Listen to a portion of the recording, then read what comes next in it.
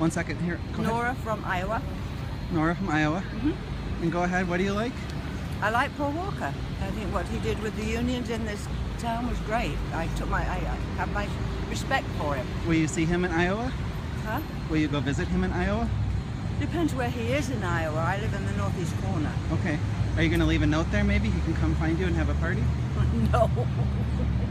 Well, tell him Jason Lu- Jason Louise says hi, okay? Okay. Okay, take care.